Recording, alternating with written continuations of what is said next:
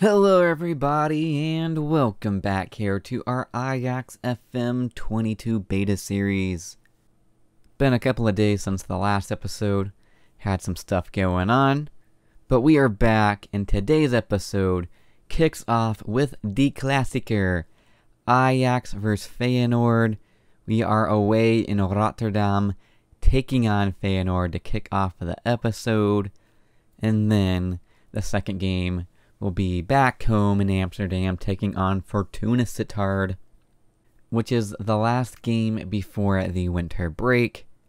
It's a it's a short winter break. It's only a couple weeks long before we return to action in the middle of January. So, two big games before the break. And the first one is a first versus second matchup. We're top of the table, of course, sitting on 46 points. Feyenoord in second, five points behind us on 41 points. Let's take a quick look at the schedule and see how we've gotten on since the last time you saw us. It's been a fair bit of games since you saw us beat Go Ahead Eagles. We uh, had a 2 0 victory against Waalwijk, then a, uh, a draw against Man City in the Champions League, nil nil. We actually followed that up with another nil nil game against Sparta that was the first game we did not win in the league. Still undefeated, but I guess we're not going to win every single league game this season. But yeah, that was a, a very disappointing result there. Should have gotten a victory, but it was goalless in that one. Then we got back to winning ways against AZ, and then Willem were the next victims before we got our very first loss of the season away in Barcelona was a 1 0 victory for them, and Frenkie de Jong scoring against his ex club. So close to being undefeated in the group stage, but not quite meant to be. Then the latest game was a 3 0 victory over Waalwijk in the Dutch Cup. So the team that will be taking on Feyenoord has pretty much everybody available Antony picked up a knock in training, is going to be out for this game, but will be back for the second game today. Tagliafico will be out until we return from a winter break. But here's the team. We are all ready to go to kick off the Klassieker. Well, you guys wouldn't have known, we've actually already played half of a game of football against Feyenoord. We didn't have a single highlight. Both teams very evenly matched up here in the first half. Though Feyenoord, it looks like they are slightly edging us out. Need to do better here in the second half, that is for sure. I don't think I'm going to make any changes here yet at halftime, but I might not wait long in the second half to change it up a bit. Oh, we got a highlight here. It is us on the ball. Martinez bringing it out. Picks out Blind. Up to Tadic inside the Berghuis, the ex-Feyenoord player. Imagine if he were to get a goal today. But we have a corner, Tadic to whip it in. Oh, Sula! Ah, heads it over. That was a real opportunity. And we look like we are much more lively in the second half. And that is not what we want to see. Steven Berghuis picking up an injury. Alright, so with that, we're going to bring on Kudus see if he can uh, create anything for us here in the second half. We're already playing much better, but we need to find a goal. Oh, we got a highlight. Feyenoord on the ball from a throw-in. Looking to work their way through our defense, and that is a great switch of play in a dangerous position, but Martinez cuts that pass out, and Kudus plays it over to the top to Haller. Go on, Sebastian. Yes, let's go. 16th goal of the season. What a ball from the substitute Kudus. Sebastian Haller was not going to miss that opportunity. One on one with the keeper. Looks like he's going to go on his right. Nope, he cuts it onto his left. Fires it past the keeper. 1 0, 68 minutes. We'll go ahead and make a couple of substitutions while we are at it. We're going to bring on Gedson Fernandes for Klaassen. We'll put Tadic over on the right hand side for Neres and bring on Daramy. And actually, one more sub. We're going to bring on Devyne Rensch for Timber, who is on a yellow card, and we are not going to risk getting a player sent off. Another highlight Feyenoord on the ball. They are looking for the equalizer now. Come on, let's shut them down here, boys. Martinez out on the left-hand side, and that left an opening in the middle. Sula having to fend two players on that cross. And Feyenoord are even on the game. 78 minutes gone. Ah, Sula actually missed the ball. That is uh, not not what you want to see from your center back. And we have one more substitution. And we're going to go ahead and make that. We're going to bring on Victor Jensen for Tadic. Can we find a winner here in the final 10 minutes? We have a corner. Victor Jensen to take it. He whips it in. Oh, Sula has his header on target, but the keeper was there to save it. He could have been the hero. And that was very dangerous. We headed away, but they win the ball right back. Come on, boys. What can we do with it here? Sula bringing it forward, looking for options. Ends up playing it back to Martinez, who plays it back to Onana. And his pass is wayward, straight to Feyenoord. And this is bad. That is very bad. Are you kidding me, guys? Wow, one ball over the top, through on goal, and they beat Onana. Guess we're going to have to go very attacking here now. This is not good. This could be our very first loss of the season in the league. This is not good at all. We are running out of time, and Feyenoord looking for a third goal now. What are we doing out there, guys? Thankfully, that shot was very poor. But time is running out, and another highlight for Feyenoord. Wow, unbelievable. His second on the day, very similar to the first goal, just a ball over the top, and Dessers is there. Wow, we have imploded here. Wow, they almost got a fourth goal. Still looking to get that fourth goal. Our team is asleep. Come on, Kudus. Ah, uh, needed to beat that man, but he didn't. This is bad. And the team is going to know that after the game. Wow. A 3-1 defeat against Feyenoord after going up 1-0 with just 20 minutes left to play pretty much. And then we give up three goals in pretty much the final 10 minutes of the game. Very, very poor. A couple players on 6.4.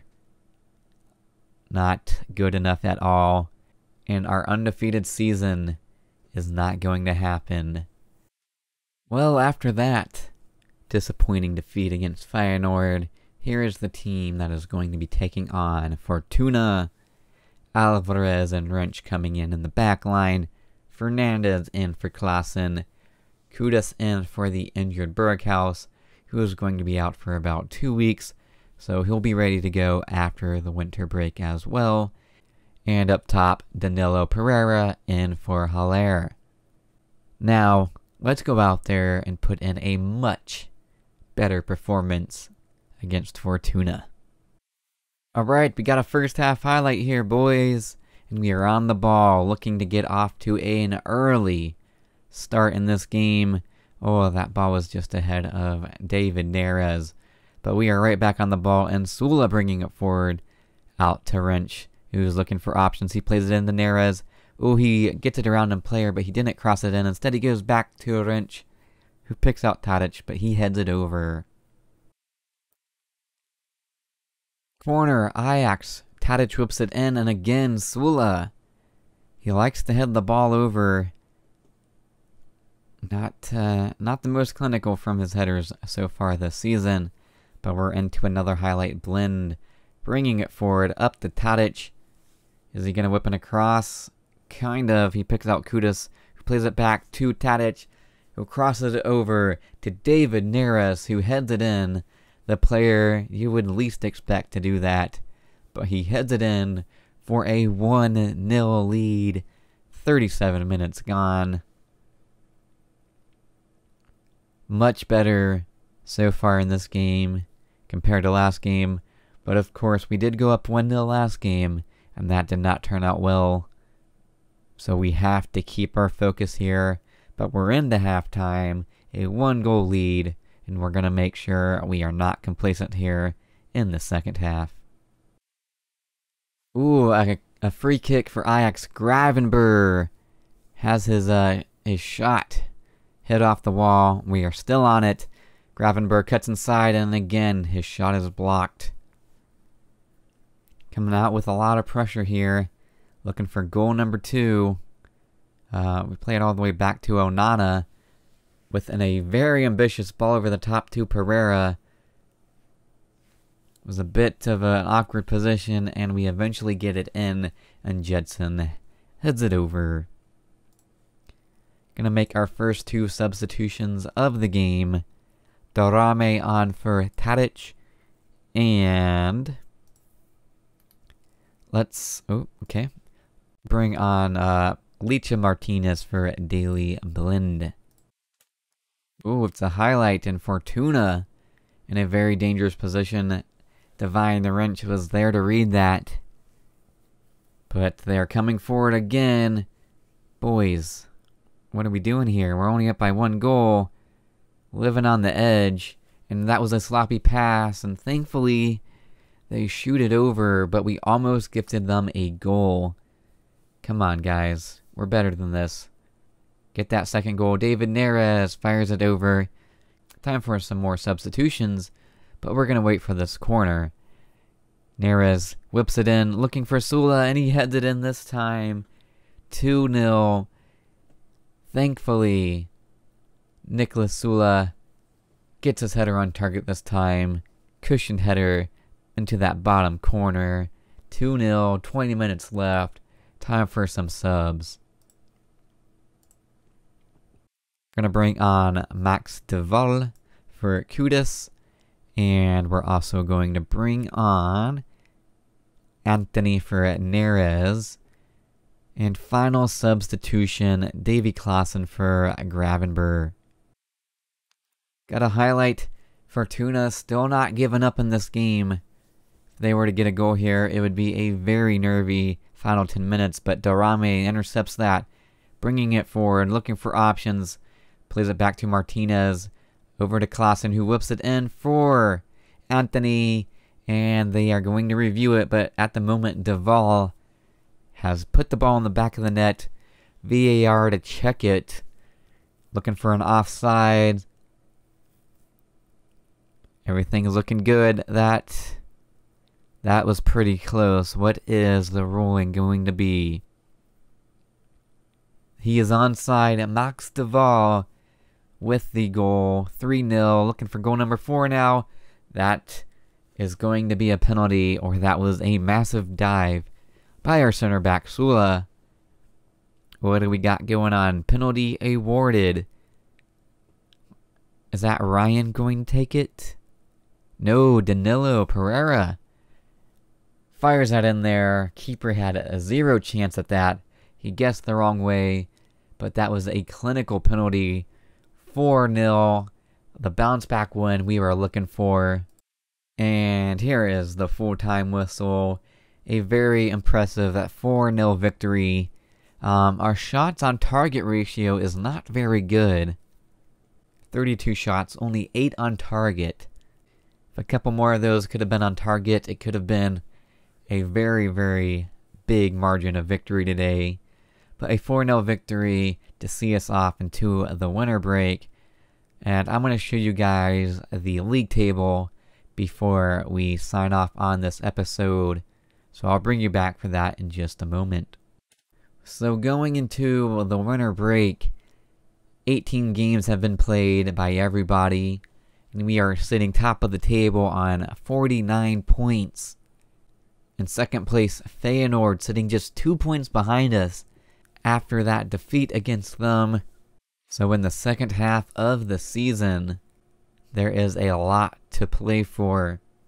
And of course, with January coming up, the transfer window opens up once again, but we don't got a lot of money to play with at the moment. We only have 1.4 transfer budget. We have a, a, little bit of money to work with in the wage budget, but even if we uh, rearrange it, I'm looking at less than uh, 4 or 5 million. So, unless the board decides to uh, increase that wage budget, to increase that transfer budget in the winter break, because we are still in the Champions League, I might be able to convince them to give us more money.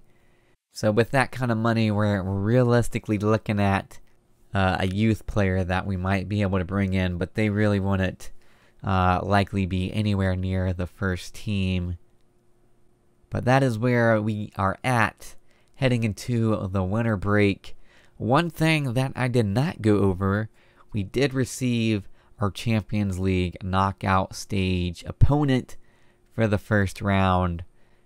You guys might have seen it in the schedule view already if you were were eagle-eyed, but we have been drawn against Benfica. So that is who we will be taking on come February in the Champions League. They do, of course, have an ex Ajax player, Jan Vertonghen. So it'll be nice to see him, one of my favorite Ajax players in the last 15 years. So I don't really have anything else to go over. So I'll go ahead and end off this episode here. If you have enjoyed it, make sure you leave it a like down below. And if you are new to the channel, go ahead and subscribe down below and don't forget to hit that notification bell so you don't miss out on future videos coming to the channel. And until next time, it's been your Boyd147.